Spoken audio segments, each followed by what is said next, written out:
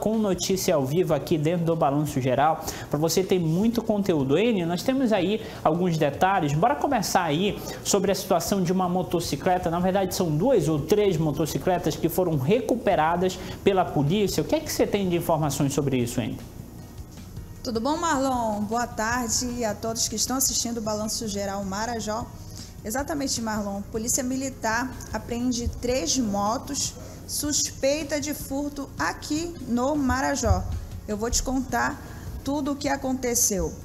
É, grande parte do efetivo do 11º Comando de Policiamento Regional do Marajó Oriental está trabalhando nas festividades de São Sebastião em Cachoeira do Arari.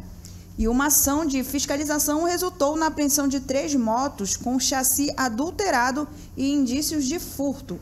O comandante é, do Comando de Policiamento Regional, o Coronel Josimar Leão, que está no serviço operacional na cidade, explicou que foram três motos da marca Honda que tinham a numeração do chassi raspada.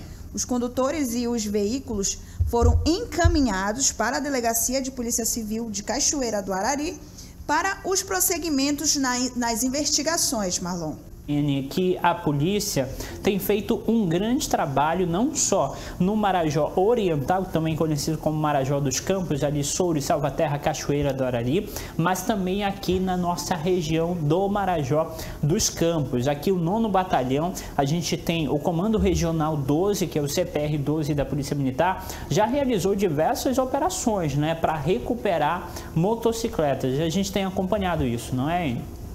Exatamente, Marlon. Inclusive, né, é, o nono batalhão aqui da cidade de Breves tem feito sim várias operações com este intuito, é, detectar motos que possam estar irregular. Inclusive, já noticiamos aqui, acompanhamos recentemente algumas operações e recuperações de motos, né? É, estivemos até conversando com o Tenente Coronel Barros, que nos explicou como de fato é feita a consulta e de qual, que é de uma maneira bem rápida e eficiente, né? Através de um aplicativo que é usado pela polícia. Tá certo. Muito obrigado pela participação aqui no Balanço Geral, em participação ao vivo.